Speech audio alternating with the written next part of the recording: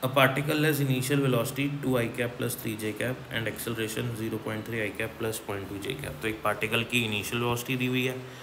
X direction में two Y में three acceleration भी है एक्स में इतना और वाई में इतना।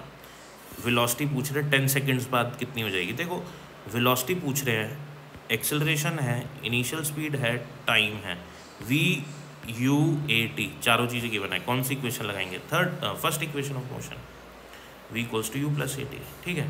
तो वी पता नहीं है अपन को यू की वैल्यू ये रही एक्सेलरेशन ये रहा और टाइम ये रहा। सारी वैल्यू सब्सिट्यूट कर दी है, सब गिवन है अपन को, ठीक है? अब टेन को यहाँ मल्टीप्लाई करो तो पॉइंट थ्री थ्री हो जाएगा पॉइंट टू टू हो जाएगा। अब two I cap plus three I cap करेंगे तो फाइव आई कैप हो जाएगा। थ्री जे और टू जे ऐड करेंगे तो फाइव जे हो जाएगा। अपन को वेलोसिटी का मैग्नीट्यूड चाहिए, ना? ये तो वेक्टर आ गया वेलोसिटी वेक्टर आ गया ये।